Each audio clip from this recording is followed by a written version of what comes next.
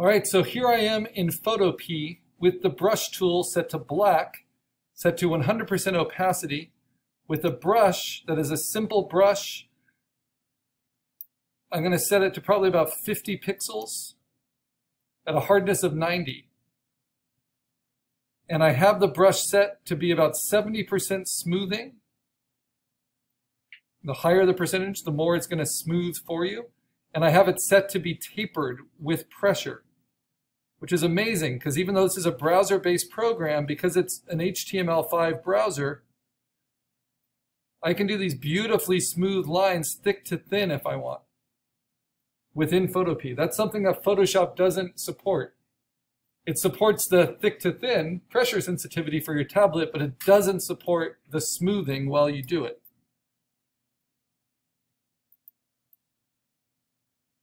Okay, so with those tools, I'm on my own ink layer, right? On top of my onion skinned reference. I can now zoom in and really start to digitally ink this.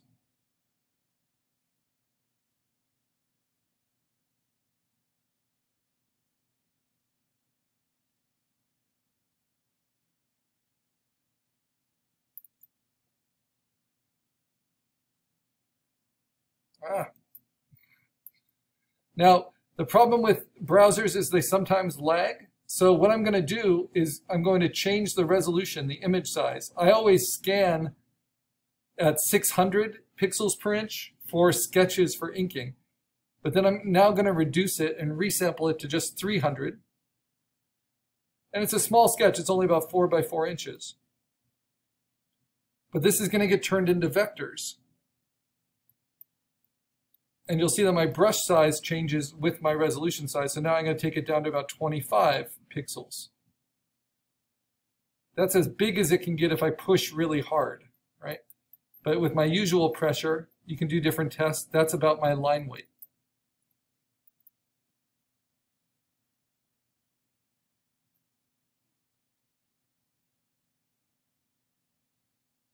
And now this allows me to ink it just like I would a coloring book by hand.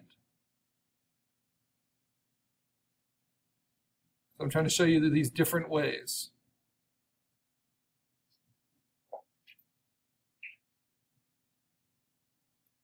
But then it's catching a little bit and not showing me. So depending on how the browser base is working for you, yeah, it's kind of falling behind. But it's great to have the smoothing and it's great to have the pressure sensitivity. Now remember that I took my refined image and I saved it as a JPEG as a test to vectorize. So this test to vectorize image was from a scanned image of inks. But because it was, you know, inks on paper, it was pretty bumpy and wavy. So I did all those things in in Photoshop to kind of clean it up. Now I'll open that in Illustrator. And when you open it in Illustrator, because it's a raster file, click on it and it will come in with some raster options. And if you don't see those raster options right away, this is the newest window in Illustrator. Go to Window and go to Workspace and go to Essentials Classic. Just because there's so many functions in Illustrator, it tends, the new version tends to hide these. So if you go to Essentials Classic, you'll see what I need you to see. You click on it, you'll see an image trace option. used to be called Live Trace, right? And it has a drop down next to it. Click on the drop down, and what you want to pick is a black and white logo option. And then you can see how this could have been useful when we were doing our black and white uh, logos.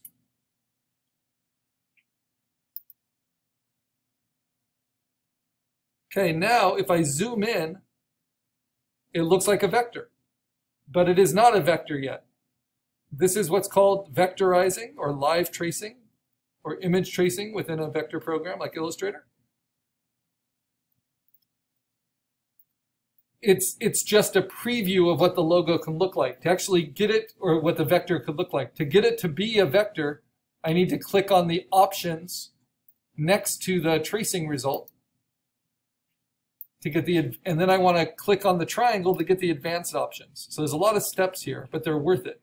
The very first thing I need to do is say ignore all the whites because I don't want white vector shapes. I only want black vector shapes. So why does that matter? So that it looks like this instead of like this, right? Because we just want the, the line art. Then I want to go in and I can play with these settings. So notice that some of my lines got broken, like the in there, the edge of the eye. It actually looks pretty darn good, but I can get it closer by adjusting these settings as it converts my pixels to a vector. So I can say, um, allow for a little more noise, you know, smaller shapes. More corners. And I have preview set, so it's going to preview as I make these changes. And allow for the lines to be thicker to have fewer corners means they'll, they'll be smoother, but sometimes it will round out things you don't want it to round out. So these are your live tracing options. And I did my best to make it so it was a good candidate for live tracing uh, simply by thinking about it as cut out of black paper. All right, once you're happy with it and you have ignore white checked, then you click on expand up at the top and that will turn it into vectors. So now I have anchor points and vectors. And the great thing about that is that I can clean it up in the way that I cleaned up my logo. So I can use my handy dandy pencil tool, which under the Essentials Classic is, is with the smooth tool underneath the brush, not grouped with the brush. Whoops. And then I can use my um, stylus and I could set my pencil to different smoothings, right? I'm going to keep it pretty smooth. And I'm going to even some of this out.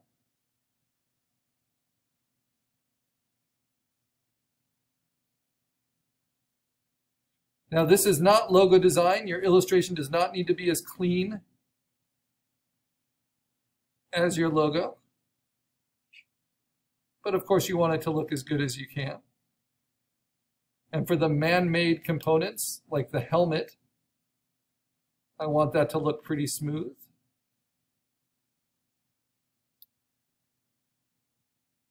So I can use the tools in Illustrator much like the smoothing brush option in Photopea, to soften and smooth that original ink sketch that I scanned in. So this is a technique I often do. I ink by hand, I scan it, I clean it up, and then I live trace it.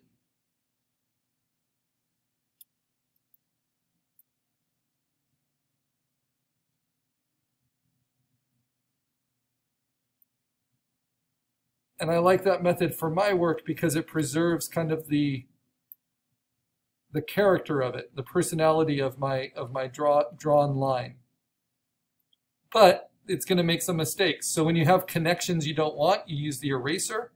You can set the eraser to be different sizes. I want pretty small.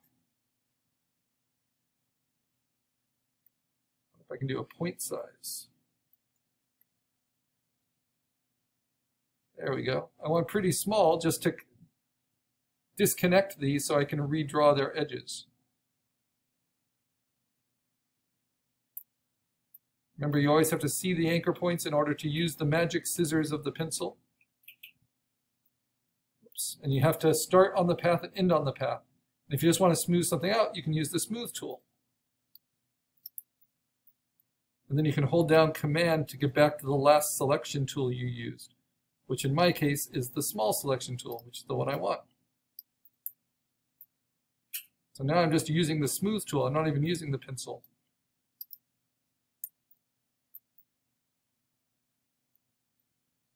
Now here, this is the mechanical part of the, the helmet, kind of where the visor hinges. So I want this to look pretty circular, and right now it doesn't. So that requires some careful use of the pencil tool to round that back out.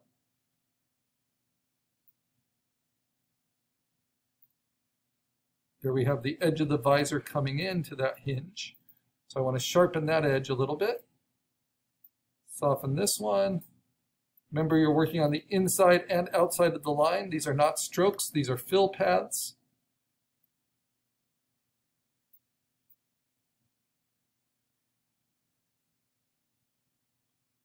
And you're just trying to get across your own version of Nico.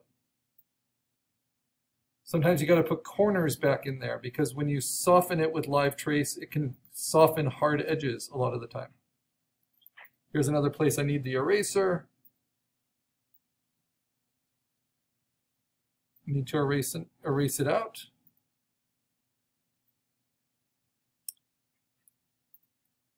And so you can see I can do my work here to improve my digital inking and get nice clean vector line art, which is what we're all after for our coloring book spot illustration. Now the eye itself, I want to make sure that's nice and round. Nice and smooth. So to me, using that smoothing tool, whether you do it in Photopea or whether you do it in Illustrator, is really pretty important for this kind of illustration. You don't want really jittery looking lines. When you need to separate paths from each other, you use that eraser tool.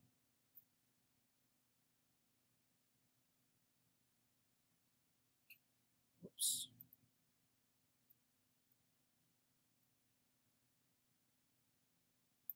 Hmm, not sure why it's not catching here. Very strange. Let me see.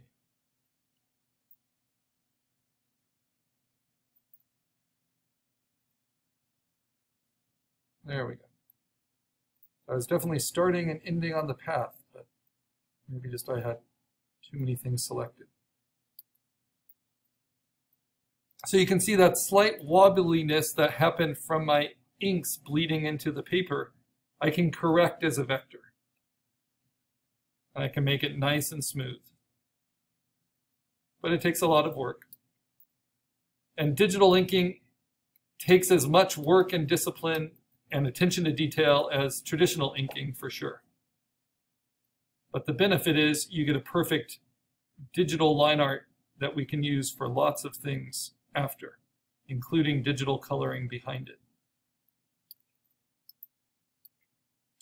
So it doesn't need to have the quality control of your logos, but you still want to make it nice.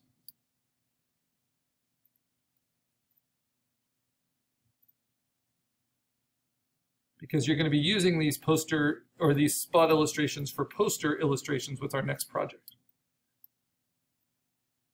Okay, so I still have more to do, so it's a good time to save my progress.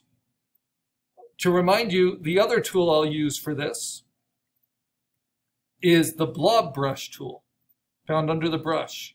And the blob brush tool can be set to smooth as well. You give it a size. I'm going to give a pretty small size. And then you're supposed to be able to have pressure sensitivity on the blob brush tool. And then it's my favorite tool to use for digital inking because you have pressure sensitivity with your tablet and you have the smoothness setting, just like in Photopea. The problem is with this newest version of Illustrator 2021 and our tablets, which are two-year-old tablets, it's just the tablets don't have a driver yet that supports this newest version of Illustrator. So it's a tablet driver problem.